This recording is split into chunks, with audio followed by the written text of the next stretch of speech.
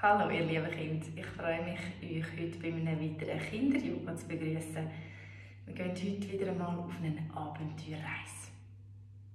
Schauen wir gerade, wo es uns anführt. Liegt für das zuerst auf den Rücken. Macht es euch bequem, mit den Füßen aufgestellt oder ausgestreckt. Und liegt im Moment. Haben wir ein paar tiefe Atemzüge.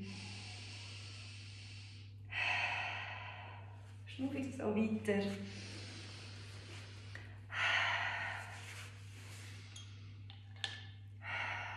Und stellt euch dann vor, wie ihr ganz tief schlaft. Einen schönen Traum habt. Und so langsam verwacht.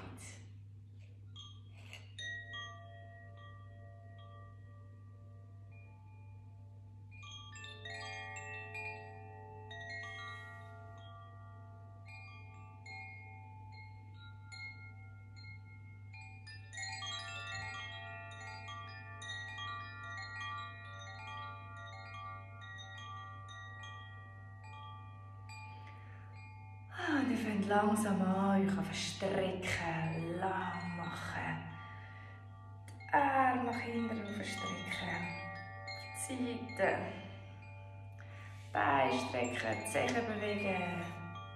Die Finger bewegen.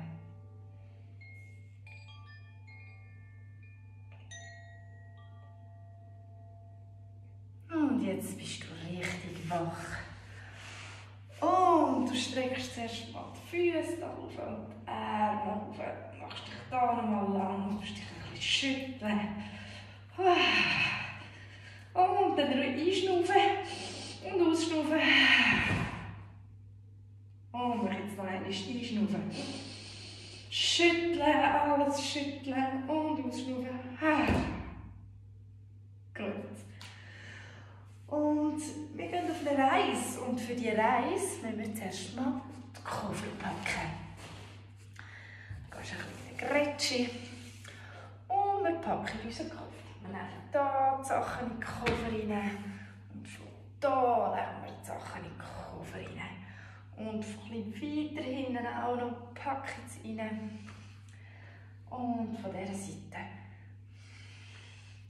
Und von oben müssen wir noch Sachen abnehmen.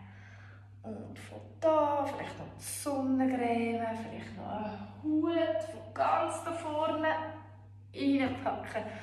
Und von der anderen Seite reinpacken. Gut, ich glaube, das längt. Dann machen wir den Koffer zu. Und den Reissverschluss zu. Noch nicht ganz geklappt, machen wir es nochmal. Richtig alles zumachen. Und noch ein der Koffer geht zu. Und mit dem Koffer laufen wir jetzt los. Und zwar liegen wir für das nochmal auf den Rücken. Und wir laufen los.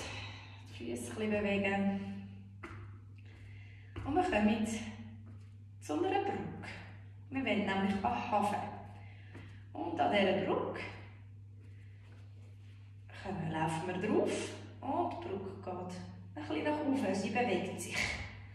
Und jetzt laufen wir.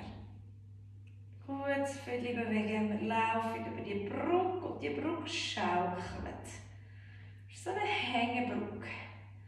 Könnt ihr sich vorstellen? Wir laufen drüber. Gut bewegen. Links rechts. Und dann sind wir auch dran angekommen. Und man sieht schon von weitem ein Schiff. Und das Schiff fährt schon los. Wir können im letzten Augenblick noch drauf gucken. Und kommt wieder aufs Schiff. Und dann habe ich nochmal einen Und jetzt sind wir definitiv auf dem Schiff. Das Schiff fährt los. Mit dem großen Motor. Mit dem großen Propeller. Und bewege dich. Ich kann meinen Körper noch ein bisschen nach hinten, dann wird es immer ein bisschen strenger. Wenn ihr nicht Lust habt heute. Und auf die andere Seite. Uh, fährt immer schneller und noch schneller und noch schneller und es bewegt sich ganz, ganz, ganz, ganz schnell. Und kommt und das Schiff fährt los. Und jetzt ist es außen ein bisschen. Und macht nochmal einen tiefen Schnuff. Und zwar sind das die Wellen, die jetzt kommen. Die Wellen bewegen sich.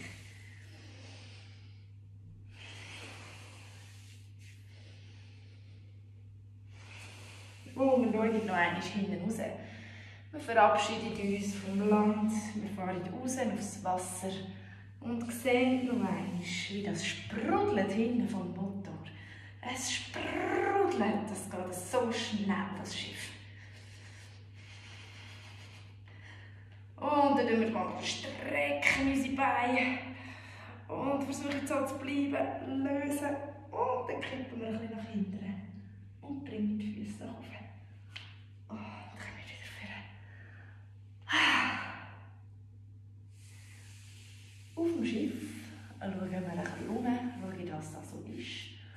Und man sieht vor allem etwas grossen raus. Wir sehen die Wellen, wie sie sich bewegen. Kommt einatmen nach oben und möglichst lang. Und ausatmend geht ihr in die Wellen drin. Stell dir vor, wie sich die Wellen bewegen.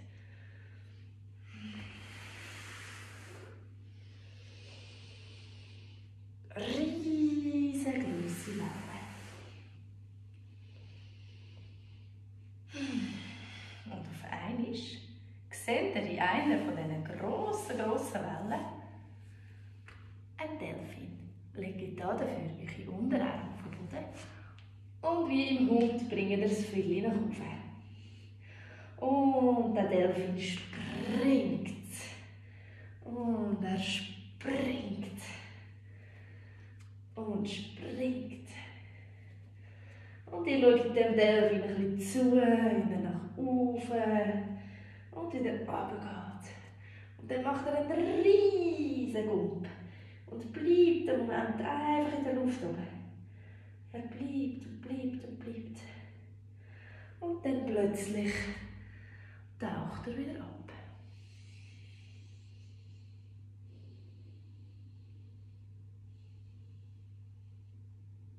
Auch der Delfin muss ein bisschen verschnaufen. Und wir denken, wie könnten wir am nächsten zu dem Delfin kommen? Und da sehen wir in der Ecke vom Boot ein Surfbrett stehen. Wellenreiten, genau, das machen wir. Wir legen uns aufs Surfbrett und paddeln. Paddeln. Paddeln noch ein bisschen mehr. Und weiter. Gut. Und man sieht den Delfin, wie er kommt. Kommt er wieder nach oben. Und wieder zurück. Und er kommt nochmal nach oben. Und wieder zurück. Und er kommt nochmal nach oben. Und wieder zurück. Und wir legen uns nochmal ab. Wir gehen nochmal aufs Surfbrett. Und wir paddeln noch einmal. Und jetzt schauen wir, was für eine Welle es kommt. Wir wollen die perfekte Welle verwünschen. Schauen. Und jetzt sehen wir eine. Und er paddelt. Jetzt muss es schnell gehen. Jetzt paddelt. Schnell. Gut. Und die Welle kommt. Und wir stehen auf. Kommen auf die Knie. Und aufstehen. Ich hält. Wir fahren im Held auf dieser Welle. Eine richtige Insel.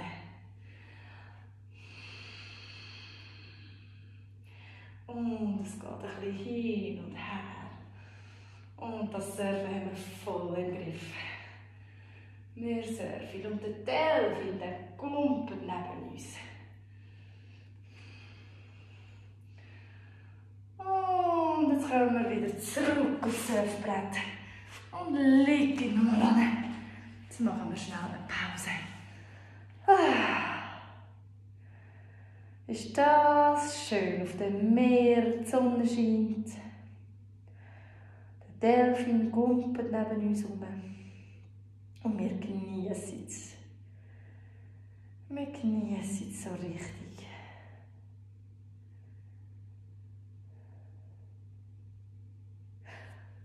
Und jetzt hören wir, dass da hinten wieder eine Welle kommt. Und wir nehmen nochmal wir schauen nochmal. Welle, Welle. Welle, gut, wieder nehmen. Und wir dann schnell. Und los, auf die Knie. Und das andere Bein nach vorne. Und wir surfen wieder im Held. Wir bewegen uns mit der Welle.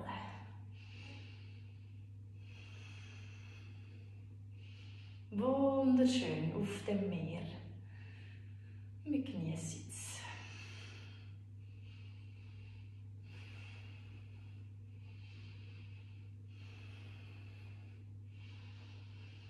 Und dann kommen wir wieder zurück aufs Surfbrett.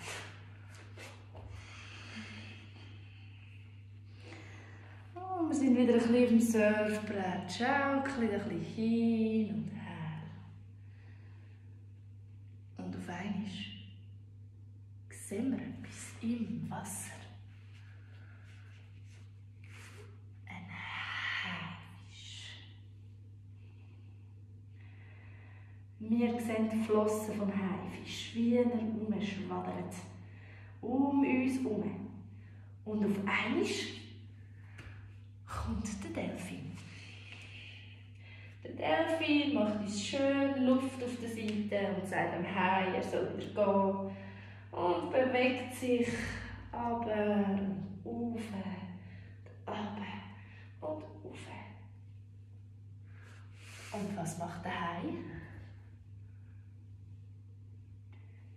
Dem Hai ist es zu blöd. Und er geht wieder und zieht davon. Und ich da noch ein bisschen bewegen. Als Haifisch links, nach rechts. Ein bisschen hinten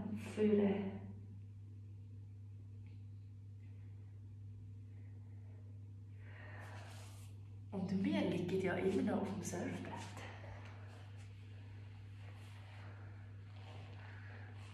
Und wir schaukeln noch ein hin und her.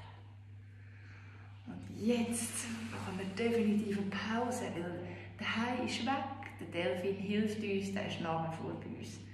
Und wir schlafen. Wir genießen die Sonne, das Meer.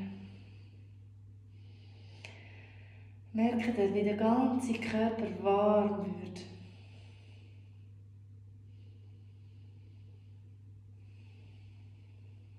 Wie sich einfach schön wohlig anfühlt, in der Sonne zu liegen. Das Schaukeln der Wellen zu spüren. Die frische Luft, die ihr einatmen könnt. Vielleicht wisst ihr gerade, wie es schmeckt. Wenn es nach Meer schmeckt, mit Salz. Nach frischem Duft, nach Blumen, Sonne. Und man schmeckt vielleicht auch noch ein bisschen den Delfin, der immer noch neben uns herschwadert.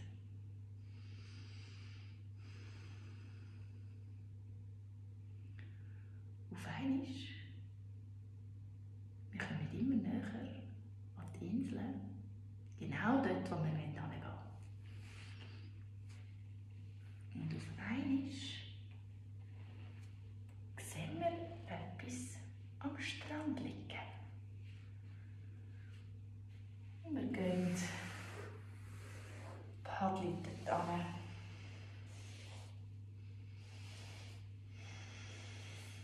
Nehmen die letzten Züge.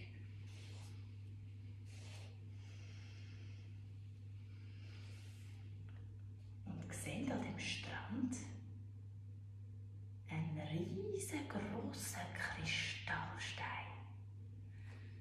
Wir gehen hin.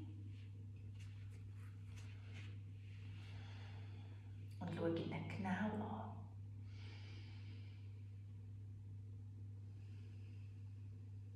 Er funkelt und ist wunderschön. Wir nehmen ihn mal auf. Stehen auf. Und er ist fast ein bisschen zu schwer. Dann ich ihn nochmal ab. Er funkelt. Seht ihr? Könnt ihr euch vorstellen? Ein wunderschöner Kristallstein. Und wir schauen ihn von oben nochmal an und laufen rundherum. Was ist das echt? Was will der bedeuten? Ich habe glaube noch nie in meinem Leben so einen schönen Kristallstein Wir können ihn nochmal von näher anschauen.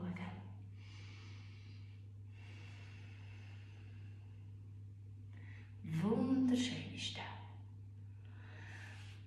Und wir legen uns ein bisschen neben Stein. In Sand, wenn wir noch ein bisschen müde sind vom Paddeln. Strecken uns mal. Wir machen uns jetzt gerade mal noch keine Gedanken, was der Stein genau will. Und bewegen uns ein bisschen. So wie Gräser im Wind. ein bisschen auf die Seite. Ein bisschen bewegen. Nochmal die Handgelenke die Fußgelenke bewegen. Lang machen. Ah. Und irgendwie lässt uns der Stein aber gleich nicht los. Und auf das Mal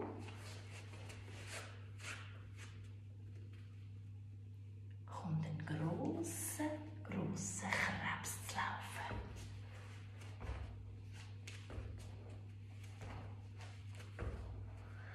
Und sagt, dass der Stein gestohlen worden ist und dass wir den Stein zurückbringen in eine Höhle. Und er läuft noch ein um. Und er sagt, es ist ganz schlimm, wir müssen möglichst schnell den Stein zurückbringen. Weil der Stein, wenn der nicht in dieser Höhle ist, hat die Insel da, auf der wo wir gerade sind, keine Lebenskraft mehr. Und dann können die Tiere nicht mehr da leben. Und die Pflanzen können nicht mehr leben. Wir müssen ganz schnell vorwärts machen. Und so geht er wieder. Er geht wieder vor. Und wir sitzen dort an dem Strand und denken, okay, das klingt irgendwie gefährlich. Dass so ein Stein, der zwar wunderschön ist, aber so eine große Macht hat. Und in dem Moment, wo wir uns da so unsere Gedanken machen, kommt ein Papagei zu fliegen. Mit seinen wunderschönen rot, gelb,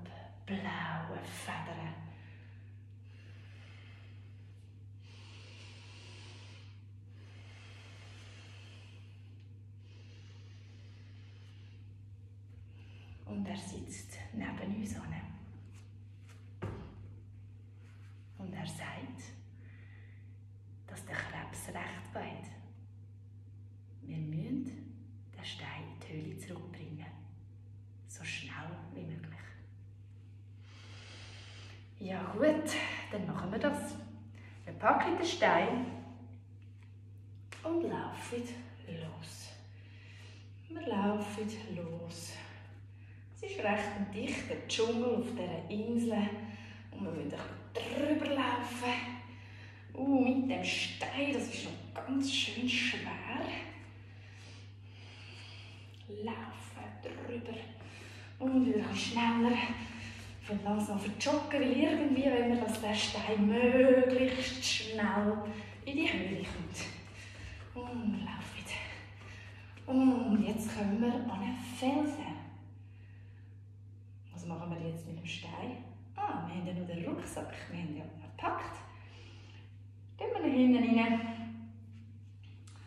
Und klettert auf. Klettert die Steinmauer drauf. Der steile Felsen auf. Genau. Und wir kommen oben an. Und wir sehen als erstes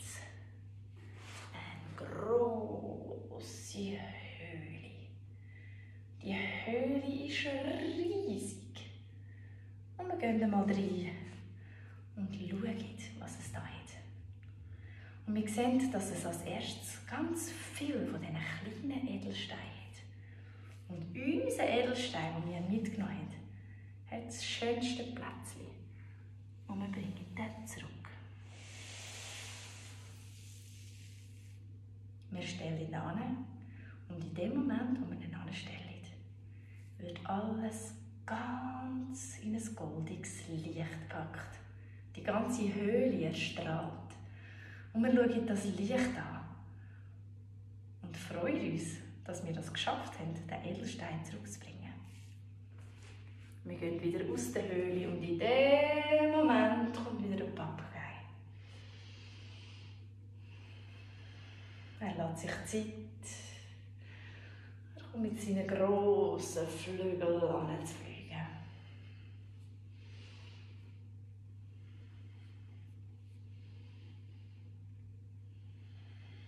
Er sitzt da und bedankt sich bei uns, dass wir das vollbracht haben. Und dass jetzt die ganze Insel nicht, nicht mehr leblos ist, sondern dass sie wieder Lebensenergie hat und dass alles wieder fließt, dass die Blumen wieder sprießen können, dass die Lebewesen, die Tiere wieder leben können und alles wieder in einem Gleichgewicht ist. Und für das möchte ich euch jetzt noch eine Geschichte vorlesen. Legt euch doch auf den Rücken. Tut euch entspannen. Ich ein paar tiefe Atemzüge.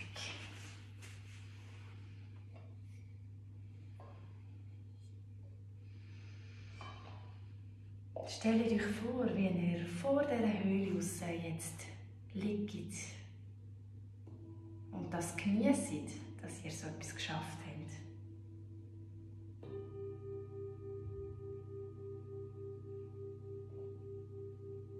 Und denke nochmal an die coole Reise, wo ihr einen Delfin gesehen habt, einen Krebs, wo wir sind surfen, auf einem grossen Boot mitgefahren.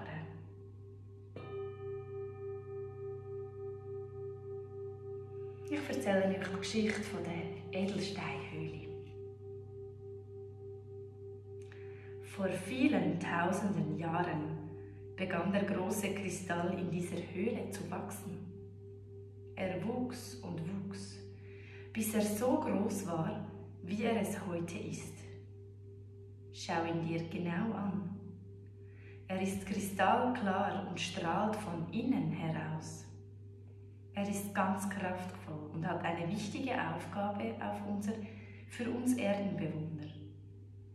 Er ist wie ein Staubsauger. Er kann negative Energien wie Wut, Hass, Neid, böse Worte und Gedanken, selbst Krankheiten in sich aufnehmen und auflösen, sodass sie nicht mehr da sind. Tag und Nacht tut er das für uns. Du kannst jederzeit an diesen Platz kommen. Berühre den Kristall und bitte ihn, dich zu reinigen. Es ist, als würdest du baden und wieder ganz sauber und frisch werden. Du fühlst dich dadurch gut, gesund und aufgeladen mit vieler neuer Energie. Sieh dich nun weiter in der Höhle um. Viele andere funkelnde und bunte Steine wachsen hier. Welcher der Steine gefällt dir am besten? Welche Farbe hat er?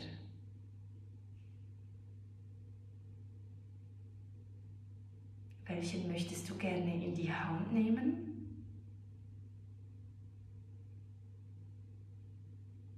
Schau, wie er genau aussieht und wie er sich anfühlt.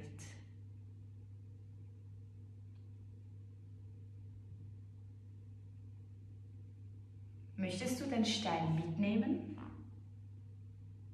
in deine Hand legen, in deine Tasche, an eine Kette.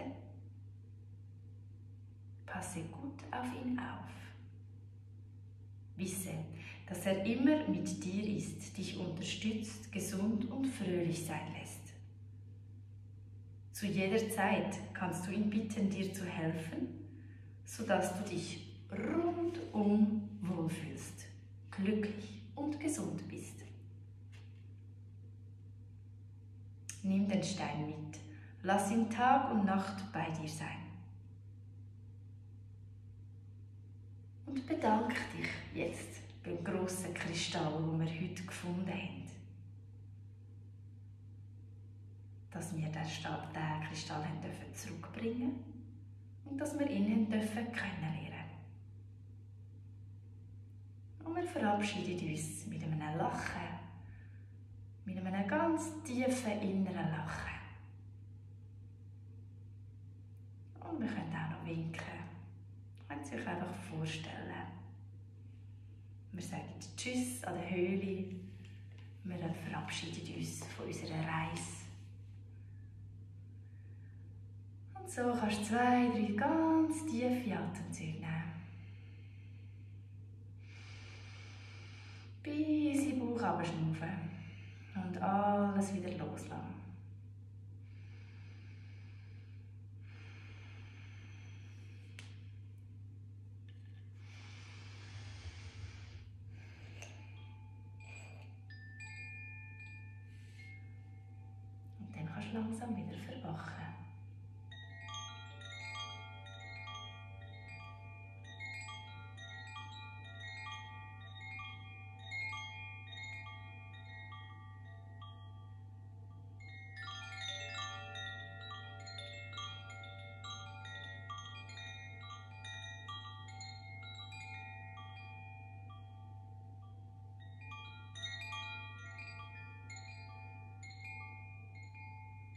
Kannst deine Füße und deine Hände bewegen.